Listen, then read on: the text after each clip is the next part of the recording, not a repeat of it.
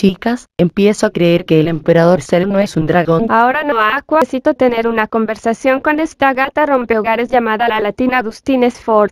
No me llames la latina.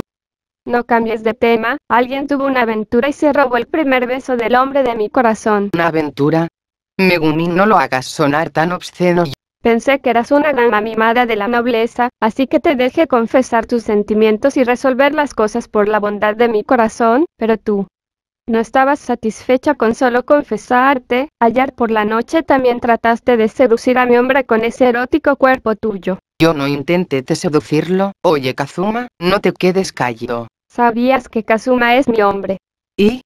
¿Es cuquear o ser cuqueada? Si no puedo confiar en la latina, tal vez no confíe en una noble nunca más. Oye ya.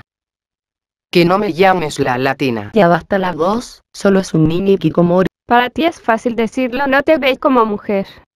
Chicas, el anillo, Kazuma se puso el anillo que solo podía darme mi prometido, quiero el hijo de Kazuma también. Y a controlarte princesa, existen mejores hombres que él. Jijijijiji, yo pensé que...